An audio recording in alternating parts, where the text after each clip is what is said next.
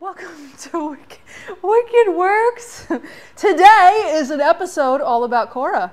So you may remember my 59 patina beetle. Um, we are going to be talking about the semaphores. We've got new semaphores. We're going to be talking about speedometers. I removed my original speedometer and I've got a whole bunch of trash ones that we're going to pull apart, look at the guts of, um, and then an update on my metal work. Um, you can see what's going on with the car. Oh, God. Wicked Werks.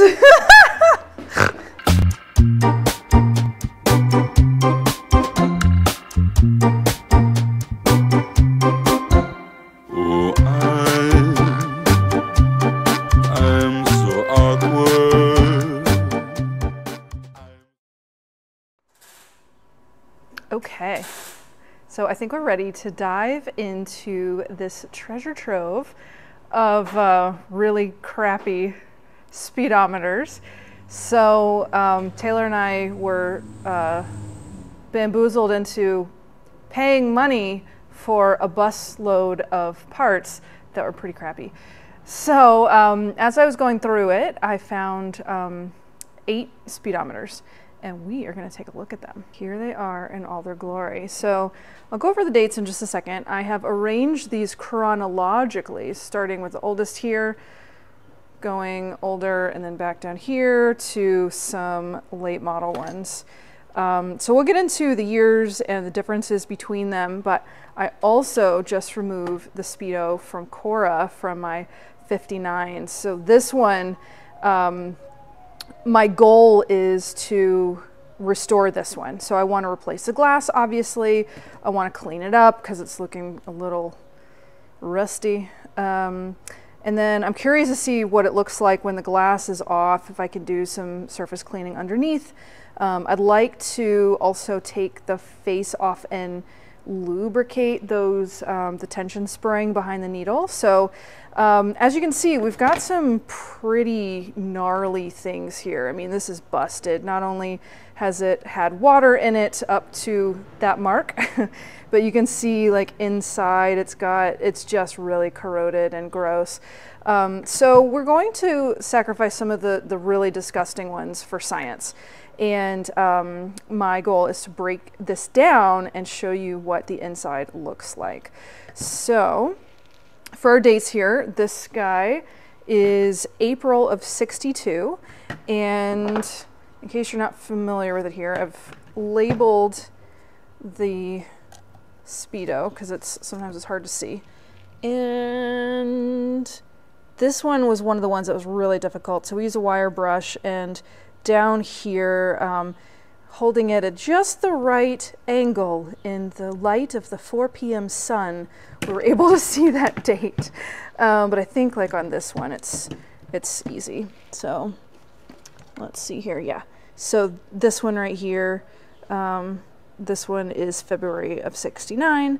Um, so that's how we've gone through and dated them all, or I have. Um, so we've got 62, 62, uh, June of 63. This is October of 63, making it a 64 model. We've got March of 65. We are missing 66, but I do have a 67. Um, this is November of 66, again, making it that 67 model. Um, we've got 10 October of 67, making it a 68. We've got, again, the February of 69, and then this friend um, is 10 October of 70, making it a 71. So um, kind of cool that out of these eight speedometers that we've kind of got a run of, uh, a sequential run of many years. Um, so you can see here that our late model ones, the 69 uh, and the 71, oh, I'm sorry, actually, the 68, the 69 and the 71, it's hard to even see anything in there. These all have a fuel gauge in there. Um, we have a couple of other fun things.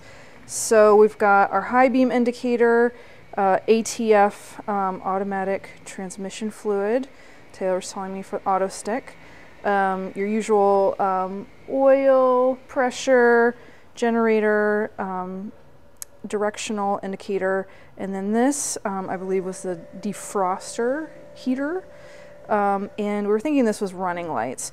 So if we compare that to um, one of the earlier ones, so we'll go to my um, early one. Um, this one is the one again from Cora. It was September of um, 58, again for that 59 model. So it's significantly uh, simpler, right? Um, and you'll notice that needle is different for that early, early one as well. I think um, obviously mine is earlier than any of the other ones here, and you can see they've got those orange needles instead of the glass one that mine has. Um, but in any case, we've got a really simple little light here for the high beam, uh, no icon on it, and then we still have that trio at the bottom for oil pressure generator and the um, directional indicator. So um, again, because I want to be really gentle with this one, that I'll hopefully be able to use in my car, um, let's tear one of these down. Okay. So I've looked at all of my Speedos and I've chosen the 63 because it is the most significantly crunchy and previously flooded. So we're going to take this thing apart. Um, on the back here, we have these two screws that are going to come out. And we've got some electrical connections um, for those different lights that I talked about before. Um, so let's start pulling this thing apart. I'm really curious to tear down one of these Speedos that's all but trash because um, I'm going to tear it down more than what I'm actually going to do, uh, hopefully to restore my own. Um, I kind of want to, I'm, saw some things in the forums about this, and so I'm curious to look at the guts because that's what my science brain does. Please, fetch me a tool. All right, Dad. My assistant here. Um, okay, so we've removed those two screws. Um, I was checking out in my car um, where the Speedo cable runs to, and uh, it's a cool system. It's mechanical and it goes uh, inside to that front wheel. Okay, so um, we have to just pry this up. And so there's a gasket on the inside of this. Three hours later, yes, the lip is a little like folded over on either end of these um, U-shaped brackets that hold it into the car. Come on, little feller. Just pop right out. Cut to us and you to the hospital with, with a screwdriver stuck in your thumb. If I have a screwdriver stuck in my thumb, oh, Wow, that got real southern there for a second. some good I have a momentum. screwdriver stuck in my thumb ball. We got other problems here. Yeah, I'm spending that in the box. namely why you've been sharpening your screwdrivers. For the love of God, please just come off.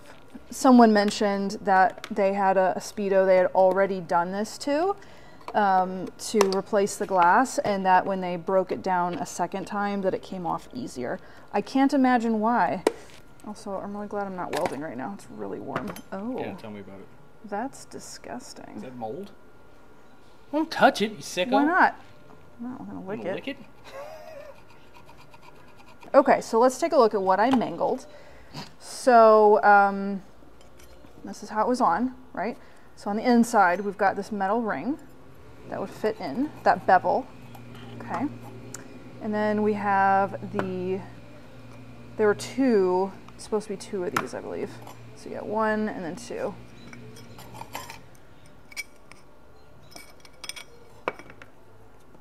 So we had our bevel, we had this little seal, and then an O-ring, and then the uh, the piece of metal.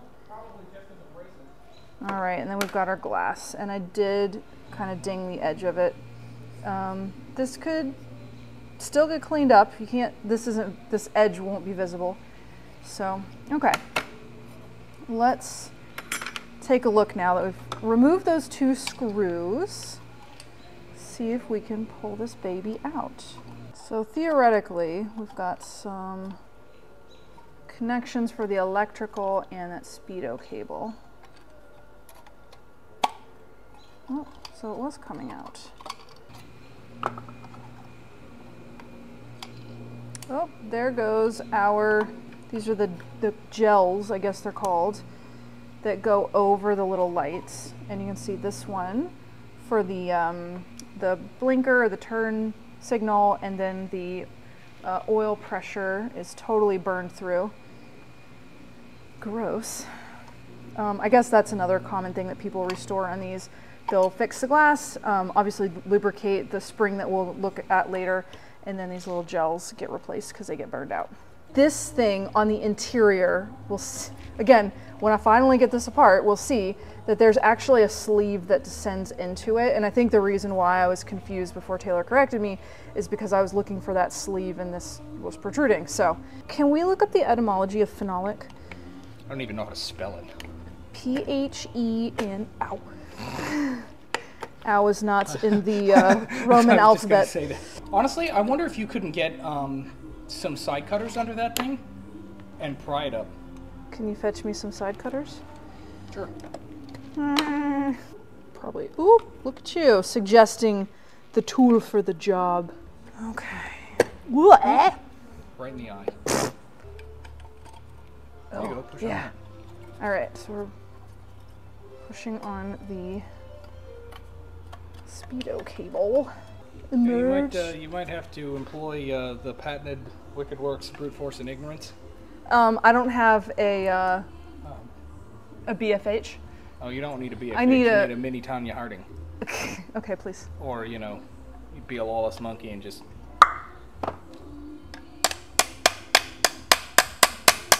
I don't think that has the the right surface area for.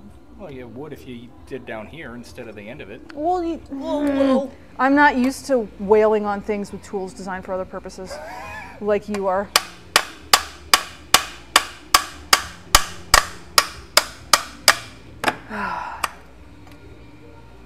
And and now you are. And now I am.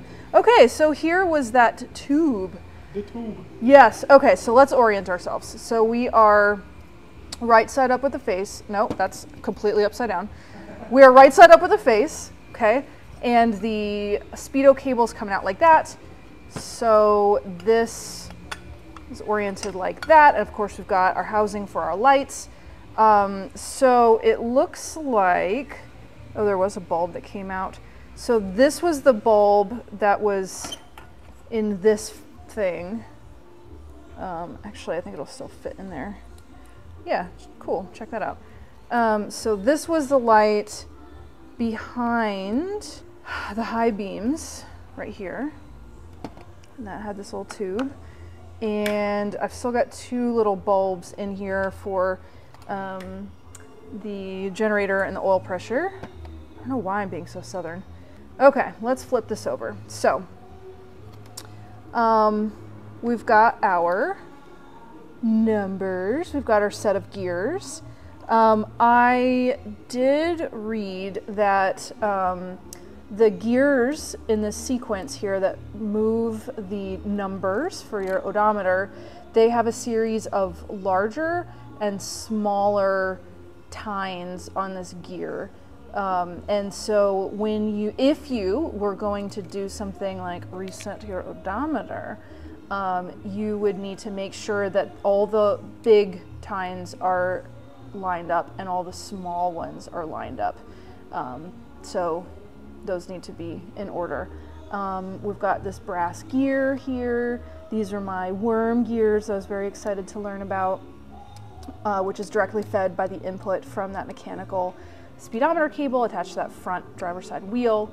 Um, so again, it is possible to move this out a little and you can adjust those numbers if you were so inclined. I am not inclined to do that. Um, so we want to get um, underneath here. So our spring is inside of here and the tension from this spring um, is responsible for um, the the movement of our um, our speedo needle. Um, one thing that I was reading is that um, if you're going to remove your needle um, and then put it back on, you need to find a baseline for where the needle sits with the spring tension. So what you want to do, and you have to be really careful because this needle is probably really brittle, uh, but you should be able to move it um, on the other side of or below this little bumper, this little stopper right here um, that keeps your needle from going any further below zero. So let's see if we can do that without, oh, well, great. All right, well, it wasn't too brittle, it just moved right up. It's supposed to lift right off, and I'm thinking that it's just so gross. Give it a go? Do you want to try it? Yeah, sure. All right. Smash. Awesome. Okay, sweet. Um, Good luck getting that back on. well, yeah, that's not really. It wasn't really the goal. Um, okay, so we've got our little brass friend here. Um, it does have super, super tiny little splines in there. And as Taylor said, yeah, good luck getting that back on. Um, so something I was reading is that um, if you are having trouble with your needle sticking, that um, you could try, uh, even before taking your needle off, going back here and um, spraying um, some kind of like lubricant or something um, behind here, that this might help a stuck needle. Um, so you could probably get something behind there. Okay, so we've got these teeny tiny little screws, one and two, and I'm gonna try to take those off, see if we can get this face plate out. Yay, more screws that turn. Okay, so this right here, this is the spring um, where all the magic happens. So that spring is super important. Um, and as you can see, this little brass thing, other end of it right there, It needs to come off so that we can take the face off. This is this is why people don't take their speedometers apart, because it's a pain. Do you want to have a go at this? Sure. Please. No, no, no, stay there. It'll look like your hands. It'll look like you have four hands. I've been working out. Mm. Oh, this is so scary. My hand strength has increased by 30%. I'm allowed to use that accent because I'm from the South. My chicken capacity has increased twofold. Don't talk about my chicken capacity. Aha, there we go. Okay, so let's see. Oh, things are happening. All right, so that's loosening up. Got the whole face still flopping around here because I can't get the can't get that thing off.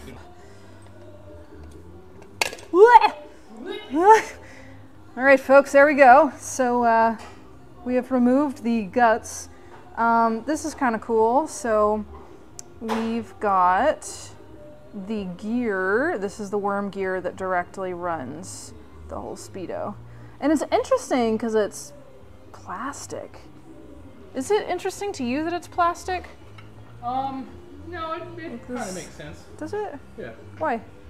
Tell me, tell me the material properties of plastic that would make it the ideal component for it's this. not necessarily the material properties so, uh, so much as the Cost? cost. Ah, you know, as soon as I said that, I realized that was probably it. It's just, just doesn't want to come off. You cut it. I refuse. Just preserve this. Oh God. Don't worry, I'm getting a vintage speed. Vintage speed what? Your mom. Okay, let me see. So, this is what I wanted to show everyone. Um, now that this has been badly, badly manhandled. So just ignore this part that Taylor broke because it wouldn't come off. Um, so we've got our spring, which um, gives our needle its uh, motion dynamics, right? And this thing is super cool. So it looks like a miniature little stake that you would drive through a vampire's heart. And if you can see right here, the very end of that coil from the spring is fed through it. And that's what holds it together. Um, you can remove it. You should not remove it. And you probably shouldn't even get this far. Again, this is just a very disgusting, waterlogged speedometer that we have sacrificed for science. Um, we did remove the housing on this side. Um, I'm not really sure why you would want to do that, but um, it looks like the end of your needle. Um, so this central thing right here is what's attached to your needle, and that fits directly into um, this little uh, hole right here, which is where your your speedo cable feeds in, um, as well as having this gear that's going to attach to um, the other gearing ah, through this gear that I took off um, so that you are able to have your mileage tick as you are driving. So there you have it. Um, we are not going to even pretend to put this back together. This is, again, this is an experimentation for science to look at the guts of what's going on here. Um, I really enjoy looking uh, inside of things and, and like kind of understanding it. Um, so I was really lucky to have this kind of gross um, speedometer um, so that later on when I uh, go back to my original speedometer for Cora that I can, you know, pretty confidently, like now that I've, I've dissected this thing, um, I feel a lot more confident about um, gently taking off um, this metal so that I can replace my glass um, and uh, kind of clean up my faceplate. Um, and then, as you remember, um, when you have this inner mechanism out of the housing, without taking off the needle or the faceplate, you can still spray some cleaner or some lubricant in there where the spring is um, without having to, again, remove the needle and the faceplate and all that good stuff. So a little bit of servicing that you can do um, just by kind of removing this and taking the guts out of the main housing without having to break it all the way down. I don't really suggest doing that at all. Anyway, there we have it. Speed on. Hello. Today's a new day. uh, so yesterday I spent a lot of time completely murdering a speedometer. That was waterlogged, disgusting, terrible. Today, using that experience and what I've learned, I'm going to go with my original 59 Speedo out of Cora. And my goal for today is to clean up the corrosion around the chrome bits here. I've got some quad zero grade steel wool. Um, and I have cracked glass. So I'm going to need to gingerly take this um, bit off. And I have another Speedo that I purchased recently from that same lot um, that has a nice glass that I think I can clear up, clean up really nicely. Um, one thing that I noticed um, that I think I mentioned yesterday is that this um, moves, it wiggles a little bit. It's not corroded, so I think it should come off okay. Uh, we noticed something else. I don't know if you guys can hear this. Can you hear that? I almost had a heart attack yesterday when Taylor was like, why is it jingling? Didn't, didn't use that word. But uh, I think what's happened is that you can see here the back of my Speedo. It is missing the housing, I guess, for one of these bulbs. And this would be the, um, the high beam light. So I thought it was interesting on my 59. I didn't notice this yesterday, but the high beam light is this right here, and I don't have that ambient light that the slightly later ones do up at the top here. Instead, I've got two lights here. I think those are dual ambient lights that kind of shine around the face. Anyways, uh, what I'm saying is that bulb, I think, is just hanging out loose in there. So when I do remove this, I'm expecting to be able to remove that bulb, and the rest of it should be completely wonderful and intact. So let's dig in.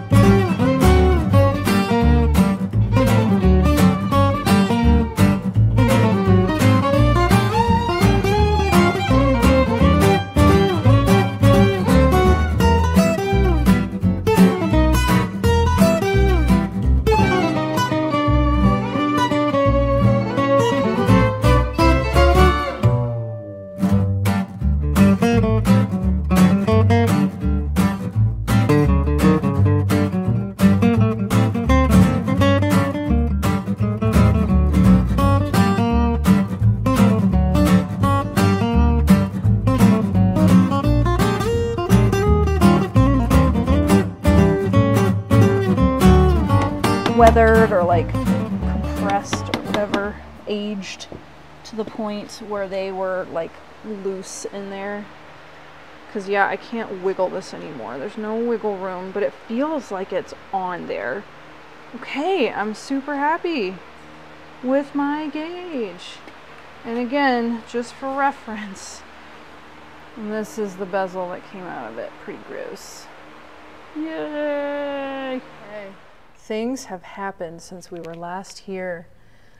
I am rounding the bend with the home stretch of this particular metal patch under my driver's side rear fender. So last time we looked at this, um, the bit um, to the right was what I was taking out. And if you recall, there were three layers of metal. So um, let me situate my light here. Um, so I've been making patches out of cardboard and I had to make three separate patches. And what's going on is that there is a layer that is actually behind this right here. So after I'm finished welding this, um, and this is, you know, flapping free on purpose, then I'm going to come back over and put another layer on top. And if you remember that this whole like panel bracket thing um, connects with this line. So that will be there. Um, I will show you the interior because as you can see, I had to make some additional cuts that I didn't necessarily want to make. So let's go look at the inside. Um, I want to show you, this is what my template looked like. Um, it's a little bit like a necktie or the state of Florida. Um, but this was, this is my template that I used. Uh, and my other template. And um, so I created this um, this inner layer, the middle layer of metal. So uh, my next thing, I've got these really cool little thingy clamps. Um, so I'll be joining this, I'll be filling in this, and I'll be doing that. And then I have another piece to shape, got my template on it, so obviously that's pretty big.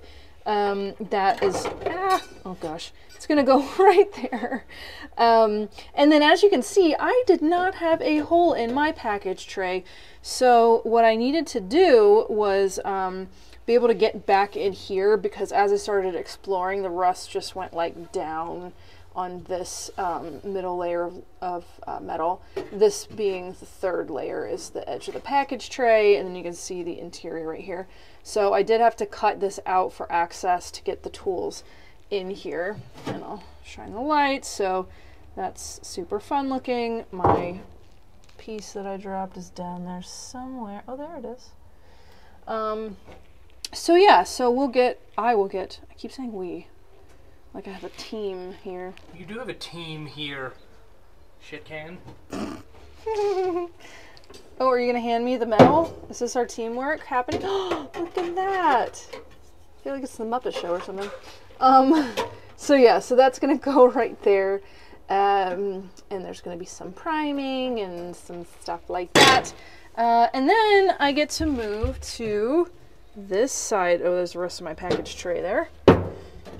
Move that out of the way. Um, so this side's actually a tad bit worse. Um, but now I know that I'll be able to remove that seam seal and um, I'll be able to like dig in and pull the package tray back and instead of making two cuts I'll just make one cut on the side to the package tray so that my tools can access inside um, and we'll get that nice and cleaned up. it's been real. On to the next rust bubble. Okay, we're here at the bench with my brand new semaphores. So these came from ISP.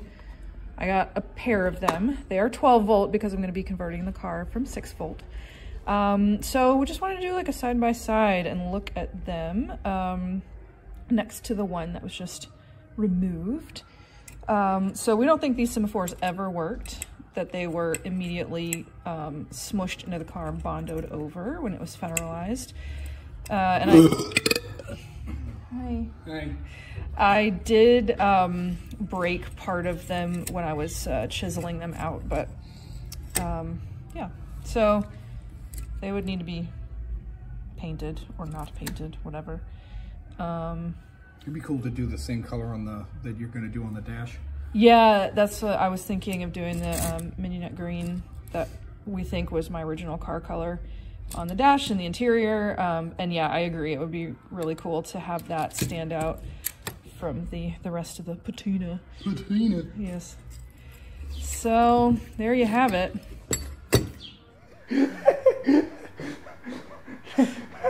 Thanks for watching. Subscribe if you haven't already. Oh God, but I'm not on. I don't have the, the microphone. Thanks for watching. Subscribe if you haven't already. Leave a like, leave a comment, share with your friends, and we'll see you in the next one. Oh God.